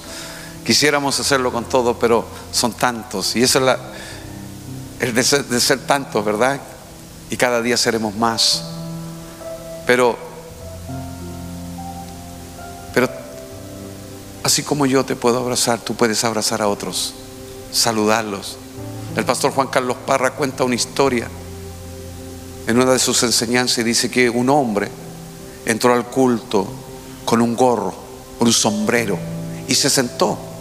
Y cuando terminó el culto vinieron unos hermanos y le dijeron, hermano, ¿por qué usted está con el sombrero en el culto? Eso no está bien. Y el hermano lo queda mirando y dice, ah, se dieron cuenta que yo existo. Dice, yo llevo meses viniendo a esta congregación. Nadie sabe cómo llegué, nadie sabe mi nombre, nadie me preguntó nada nunca. Tuve que ponerme un sombrero para hacerme visible para usted. Que no nos pase a nosotros eso. No importa si yo no te puedo saludar, pero tu hermano sí. Alguien que está cerca tuyo. Y piensa esto, cuando ese hermano te saluda, te abraza, es como que Cristo lo está haciendo, porque Cristo está viviendo dentro de él. Es inhumano que yo lo pueda hacer con todo, no lo puedo hacer. Somos pocos para hacer tanto trabajo. Las demandas del ministerio son muchas. No lo vas a entender a menos que seas pastor. Pero sí puedes abrazar a tu hermano. Y yo quiero pedir que hagamos una oración. Que te pongas de frente con tu hermano un minuto. Ponte de frente con alguien. No empieces a orar todavía. No empieces a... No, eh, eh, escucha la instrucción primero, escucha la instrucción primero, escucha la instrucción. Vamos a ponerlo frente de uno a uno, frente a y dale gracias a Dios por la vida de esa persona. Ve la gracia de Dios. Dile, Señor, aprecio la gracia de Dios en esta persona. Aprecio el don de Cristo. Aprendo, aprecio el servicio. Aprecio tu oración. Aprecio tu saludo. Aprecio lo que tú haces. Aprecio el don de Dios, queridos hermanos. Aprecio el trabajo que ustedes hacen. Llegan de los primeros, se van de los últimos. Apreciamos los ensayos eh, que están ahí, que ensayando una y otra vez las canciones, la adoración Apreciamos que hayan aprendido a tocar un instrumento y ejecutarlo para Dios. Apreciamos todo lo que hacen. No estás solo, aunque ahora estás solo, no estás solo. Apreciamos el trabajo que haces para Dios. Damos gracias a Dios por tu vida, Jonathan. Eres amado. Apreciamos el trabajo que hacen ustedes, mis queridas hermanas. Lo apreciamos, lo valoramos, lo llevamos en el corazón. Porque aunque no estamos siempre aquí, pero lo escuchamos y nos bendicen verlos adorar al Señor. Y adoramos con ustedes. Roberto, Evelyn, apreciamos su trabajo. Apreciamos el trabajo que hacen mis hermanos diáconos. Llegan de los primeros, se van de los últimos. Algunos se levantan a las 6 de la mañana para estar aquí todo preparado. Apreciamos, aprecia el trabajo, mi hermano. Aprecia el trabajo de los, de los maestros con los niños. Dale una, la próxima vez vea a ese maestro y dale un abrazo y le hermano querido, aprecio la gracia de Dios que te ha dado para trabajar con mis hijos. Los que trabajan con los jóvenes, los que arman estos partidos de básquet, aprecienlo, disfrútenlo. Los que nos prepararon la comida, ¿sí? Para disfrutar, apreciémoslo, démosle gracias a Dios porque ha salvado a sus hijos. Te ha dado una expresión de su amor. Tú eres la expresión de la gracia viva. Tú y yo somos la expresión de esa gracia que está funcionando todos los días de nuestra vida. No, eh, si te sientes solo es una cosa, pero nunca estás solo porque Dios siempre está contigo. Él le da valor a lo que tú haces. Él le da aprecio a lo que tú haces. Y Él, dice que Él va a recompensar a, cada uno conforme haya sido su obra. pero no, no buscamos la recompensa de Dios. Buscamos que Dios se sienta agradado. Que el corazón de Dios reciba gloria y honra y honor. Pastor, nadie ve mi trabajo. No, mi hermano, siempre hay alguien que te está mirando lo que tú haces. Padre, gracias. Gracias Señor. Apreciamos el don de Cristo en cada uno de mis hermanos. Gracias sean dadas a Dios por Jesucristo. Gracias por el amado Espíritu Santo, el que nos dirige a toda justicia y a toda verdad. Gracias por regalarnos estos días en esta nación. Gracias por, por darnos este espacio, Señor, para compartir con tu pueblo el gozo de ser tus hijos, la alegría de ser tus hijos el trato tuyo, la formación, la paciencia, la bondad, la misericordia con que tú nos has ido preparando día tras día. El trabajo muchas veces silencioso tuyo, Dios mío. Gracias, Padre. Gracias por los que están en los medios. Los que están mis hermanos allá en República Dominicana, en España, viendo en vivo y en directo. Gracias por ello, por lo que ellos transmiten todos los días a través de Radio Televisión Vida, mis hermanos de República, a través de la radio, a través de la televisión, a través del Facebook, del YouTube. Gracias Señor por cada, por cada don en, en el mundo entero. Gracias por nuestros misioneros que van a las naciones arriesgando sus vidas. Gracias por nuestros intercesores que se pasan horas delante de tu presencia para que tu obra sea manifiesta en toda la tierra. Gracias por los generosos de corazón. Gracias por los que trabajan con los matrimonios, con los que visitan, con los que van a las cárceles, a las calles, a los que visitan a las viudas, a los huérfanos, los que reparten entre los cesantes, en los desposeídos. Gracias por cada expresión de tu gracia. Gracias por lo que hacen la música, por los que escriben letras para adorarte a ti. Gracias por lo que hacen pintura, arte. Gracias por nuestros trabajadores, por nuestros hermanos que semana a semana aportan para que la iglesia siga siendo extendida en todas las naciones de la tierra. Pero por sobre todo, gracias a ti, Señor. Gracias por amarnos.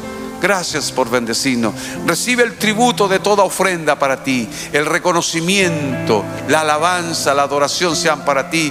Que aprendamos a valorarte, a ponderarte. Que aprendamos a verte, que abran nuestros ojos para ver todo lo que tú haces a favor de tu iglesia cada día de nuestra vida. A ti, Señor, sea la gloria por los siglos de los siglos.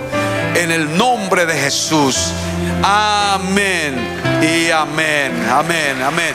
Nos veremos, si el Señor lo permite, el próximo año. Un abrazo.